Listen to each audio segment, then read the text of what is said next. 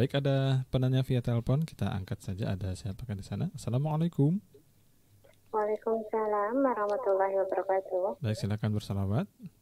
Allahumma sholli ala sayyidina Muhammad wa ala ali sayyidina Muhammad. Allahumma sholli wa sallim wa barik wa alaihi barik wa ala alihi wa sahbihi. Dengan siapa di mana? Umi Inkas KGM Sindang Pancuran. Oh, dengan Umi Inkas di Sidang Pancuran. Baik, silakan Umi langsung bertanya kepada Bang Hak. Alhamdulillah eh, ketemu lagi Bang Hak. Ketemunya di udara ya Umi ya. Baru sempatnya di udara lagi Bang Hak. Iya, Ke Mami Jahan mau ke sana kebetulan ada acara. Alhamdulillah. begini Bang. Ya, Bagaimana eh, apa ya kita pengennya sih berhusnuzon terus Bang Hak dengan keadaan yang diterima. ya. Nah, cuman kadang kitanya suka masih lemah tuh bang, Ba- bagaimana kita eh, masih suka nangis juga Iya. gitu, masih jadi pengen bener-bener kita bisa apa ya eh, bilang move on move on kali ya bang Hal, cuman Ya. Hmm. kesungguhan yang harus kita eh, dapat terus biar cermi, jadi cerminan diri kita selanjutnya gitu Betul. gimana itu bang Hal. Baik. Syukran bang waktunya. Tahakim syukran. Assalamualaikum warahmatullahi wabarakatuh. Waalaikumsalam Waalaikumsalam warahmatullahi wabarakatuh. Yang saya harus sampaikan kepada Umi Ingkas, nangis itu fitrah ya. Jangan sampai Umi nggak bisa nangis, bahaya. itu kenikmatan yang Allah anugerahkan kepada kita, kita bisa nangis. Justru kalau kita nggak bisa nangis, itu kerugian, bahaya ya. Namun begini Umi, ketika nangisnya kita, itu nangis itu ada dua ya, nangis gembira sama nangis derita. Orang yang saking bergembiranya bisa nangis nggak Kang Hakim? Bisa. Nangis. Ada yang menang lomba nangis. ya. Nangis Juara gitu. lomba nangis. nangis gitu. Nangisnya kalau bisa ke situ ya. Artinya mensyukuri. Namun gini, ketika Umi Ingkas itu menangis, berarti dalam keadaan seperti itu Umi Ingkas momennya, perasaannya, eh, event yang ada di dalam kondisi psikologi hatinya itu mengingat kepada masa-masa yang tidak Umi Ingkas harapkan Mm-mm. kok saya ya begini, kok ya begitu, kok begini, kok begitu, sehingga meratapi diri, sehingga itu menjadi tangisan. Ada satu yang eh, mereka orang-orang yang berhasil ini melakukan harusnya kondisi yang dia tarik pada hari ini adalah membayangkan kebahagiaannya, meskipun kondisinya tidak sebagaimana yang ada. Ya dia berharap bahagia, dia berharap eh, hidupnya makmur. Tapi yang dirasakan hari ini serba kekurangan. Gimana bang? Dia menggambarkan bayangan capaian di masa depannya. Jadi tubuh kita ini adalah tubuh bio bioplasma namanya Umi.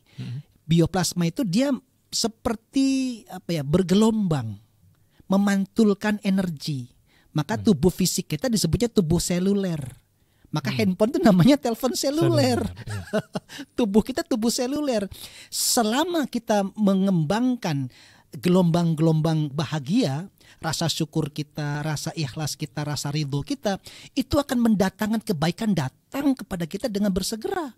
Seperti magnet bang. Seperti magnet betul. Ketika Umi Ingkas terpenjara di situ dalam penjara masa lalunya, meratapi diri, maka sebetulnya Umi Ingkas tidak disadari itu sedang mengundang masa depan yang sama keadaannya. Saya ulangi ya, ketika Umi Ingkas hari ini meratapi, kemudian menyalahkan keadaan, itu energi yang hari ini Umi Ingkas keluarkan adalah mengundang keadaan yang sama. Mm. Itu sebabnya kenapa orang susah sekali berubah, merubah keadaan kehidupannya. Karena itu yang dilakukan. Tapi begitu dia katakan saya berhenti, sudah saya berhenti dulu, saya taubat, saya taubat, saya taubat ya Rob, saya taubat ya Rob, saya salah nih. Selama ini aku tidak melihat ada kebaikan-kebaikan. Aku memaksa diriku husnuzon, tapi hatiku suuzon. Pikiranku husnuzon, tapi perasaanku suuzon. Suuzon. Berontak ini ya Rob, aku nggak bisa selaras antara otak, pikiran dan perasaanku. Hatiku nggak selaras, maka bertobat.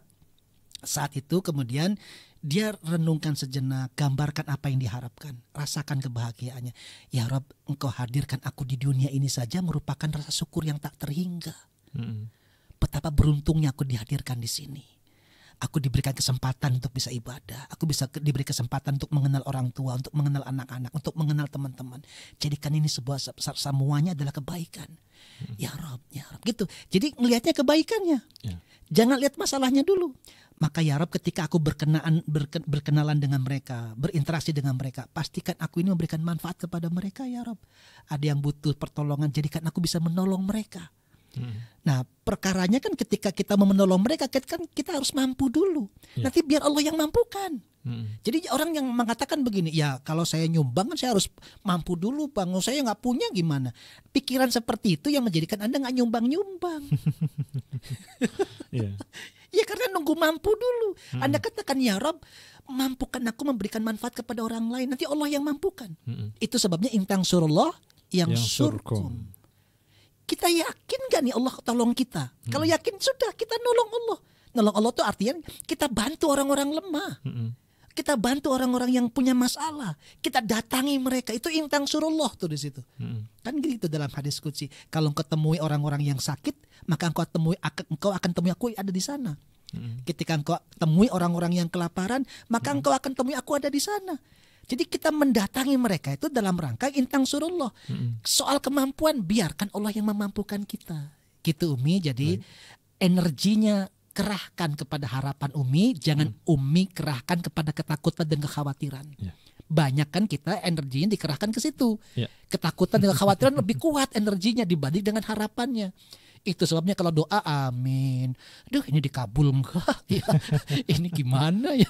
Gitu Baik. karena kekhawatirannya lebih men- men- mendominasi. Mendominasi, Yuk baik. kita berharap kepada Allah. Makanya betul-betul Allah mengatakan wala rahillah. Jangan pernah berputus asa asa. dari rahmat Allah. Harapan baik terus tancapkan di hati Umi, di perasaan Umi, di pikiran Umi sehingga biarkan Allah yang akan menghantarkan kebaikan kepada Umi insyaallah.